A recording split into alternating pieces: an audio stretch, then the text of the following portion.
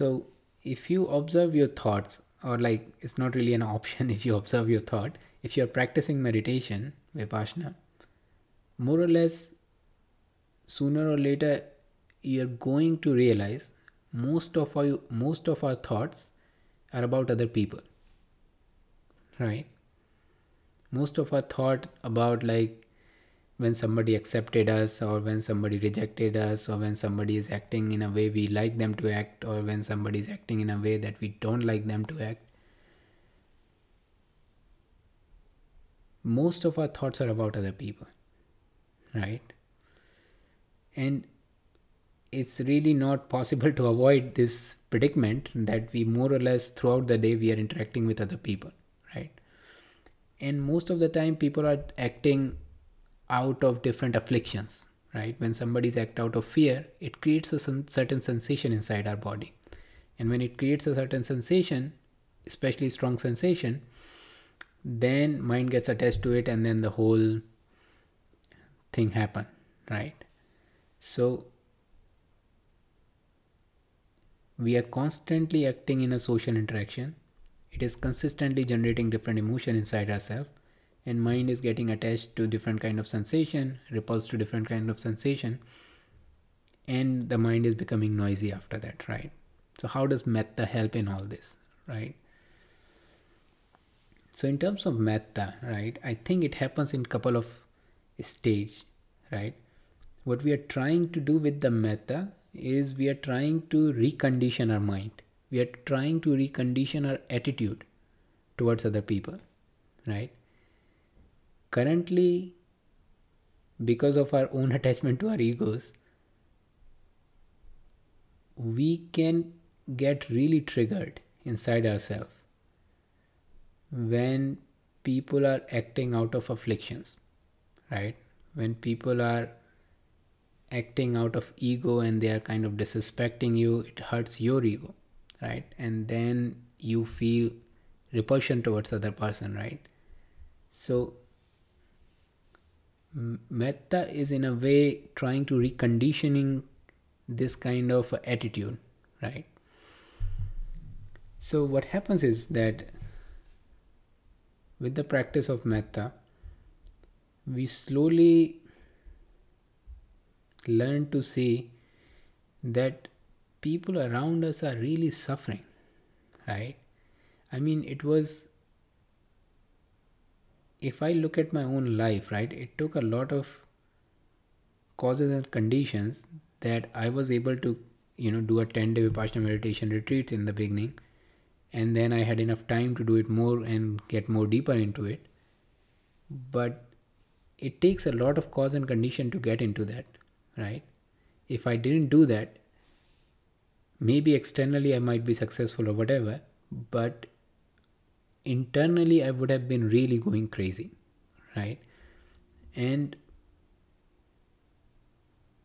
most of the people didn't have those causes and conditions, right? Most of the people are not introduced to meditation or any form of practice that help them to become mindful about their inner states so it's not really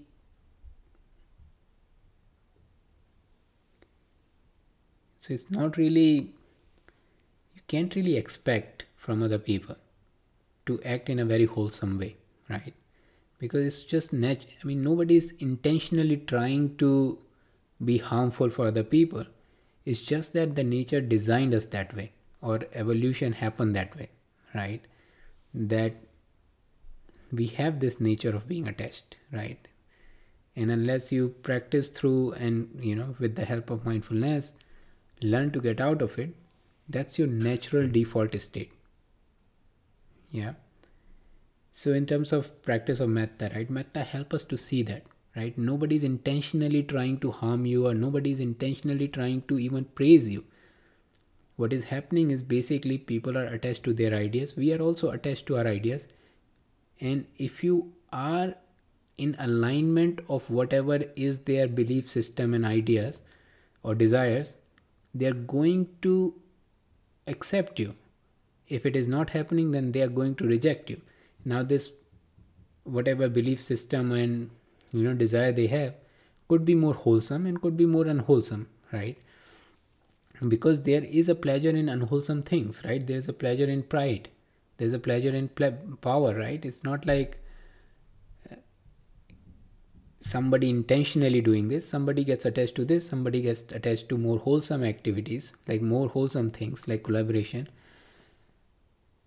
So people have a different model but it's not really intentionally or you know it's like it's not like somebody's evil who's doing this right?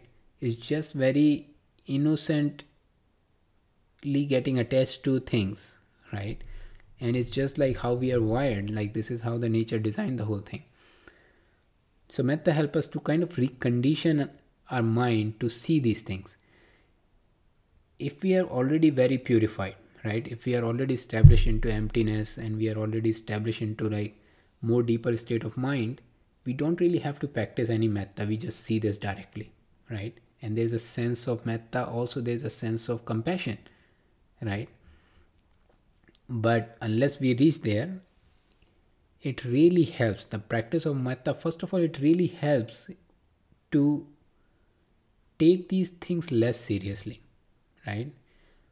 Taking what thing more less seriously is like when people are acting out of afflictions of any kind it's never because of you right? It is mostly because of their own belief and ideas and their own desires right so metta help you to recondition yourself to see this more clearly the more clearly you see the less it affects your inner state.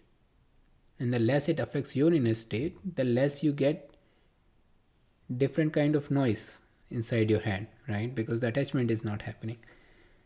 So at the first stage at least you with the help of metta practice you start to condition yourself in a way that is more aligned with the nature of reality right? And it helps you to m- become more immune to these different afflictive state people are acting through throughout the day with you right? And it helps you to stabilize your own mind right? The second thing is more in terms of the second stage right? The less you are reactive the less reaction happening inside your mind because of the different afflictive state of other people. And for example you when somebody is doing something which is not in alignment of your belief and idea if your metta practice is strong it is not going to affect you that much right? And the less it affects you when people are doing these things uh, slowly slowly the more compassion you start to develop towards other people right? You don't really feel anger and hatred toward other people but there is a more of a sense of compassion and karuna right? And that feeling is very wholesome right? So i mean the point at that point I wanted to make was more like right? In the absence of metta practice you're going to have a lot and you're going to have like quite a lot of internal difficult sensation and then your mind will be more noisy. If you're practicing metta every day and if you're getting better into your practice first that internal difficult emotions are less right? And then slowly those emotions are being changed into more wholesome compassionate kind of emotions right?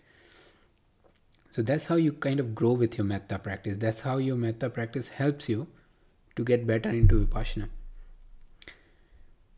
Also like a extension to metta because it's easier than said when people are acting in a very unwholesome way to not generate uh, more hatred and anger inside ourselves.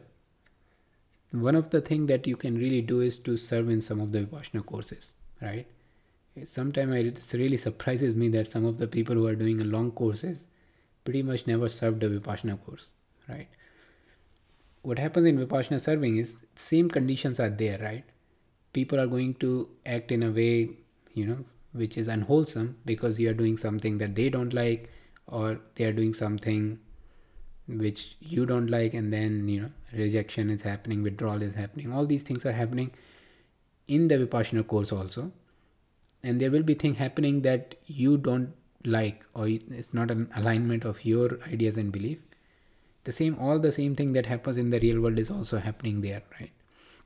But because of the environment you have a lot of time to kind of practice to stabilize yourself in these kind of situations right? And it really helps to grow fairly quickly. And there's also this feeling because of the again conditions there that sometimes you feel compassion. When somebody is kind of acting out of anger instead of anger sometimes the compassion comes out right? And it kinds of uh, gives you the glimpse of like what is possible with the metta practice at some level right?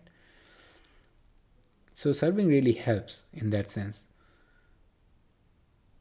Serving kind of also helps to see it more clearly that people are really suffering right? When a lot of people are attending the vipassana course you would notice right? People are really suffering.